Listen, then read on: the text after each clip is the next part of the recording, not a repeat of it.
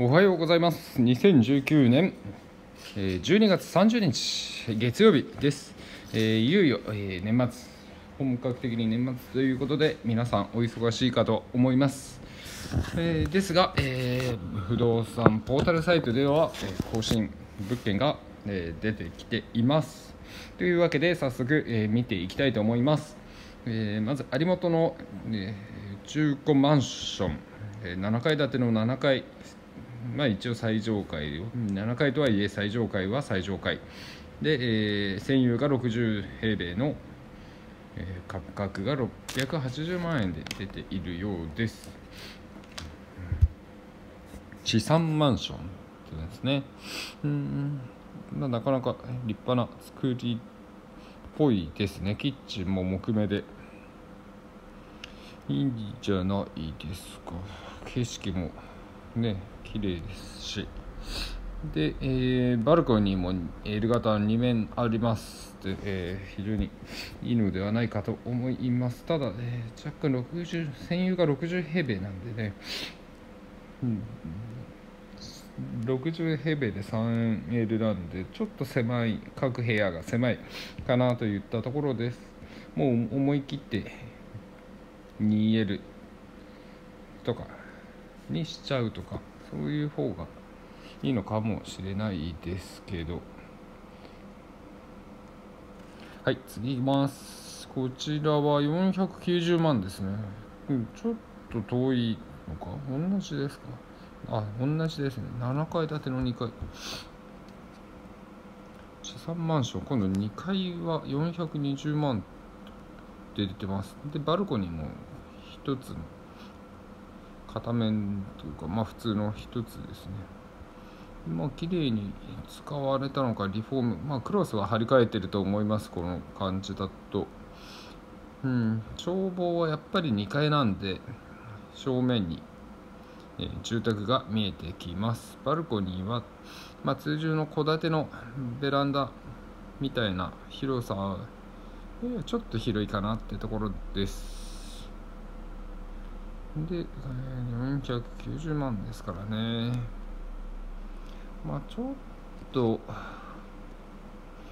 ね駅遠いし、まあ、あとは車がどうかってとこですけどマンションなんでまあ問題ないとは思いますけど車庫がいくらとかですね。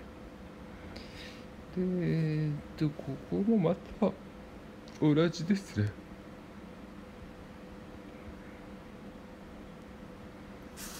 うん。多分同じ人が乗っけてるんだと思いますこのガスームに。で府中、えーの売り地、えー396平米の780万円で出ているようです。うん。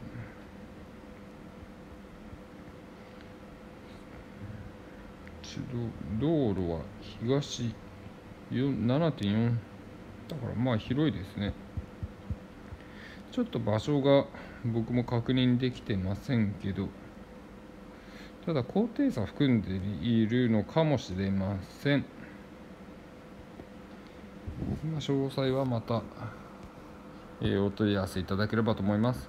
で次榎木原の中古戸建て1985年地区の土地130の建物が61と建物が狭い。まあ平屋だからですね。でもどうだろう4メーター6メーター道路の角地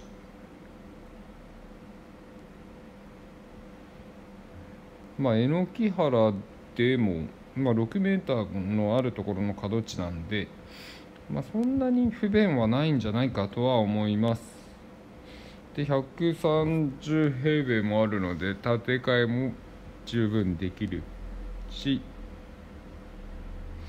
まあ、このまんまだと車庫がないので、まあ、貸すにも厳しいので、まあ、ほとんど建て替え用地としてこの辺を、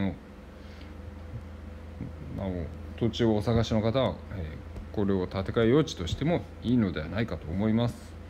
えー以上を物件としては3件ぐらいですかね、えーありました、え年末年始の休暇多くの方が休暇になっていると思います。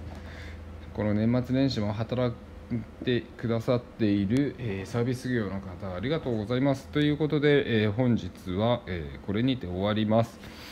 で詳細は一応でお電話転送はされますがちょっと事務所にいることもないので、即答できかねることも多いかと思います。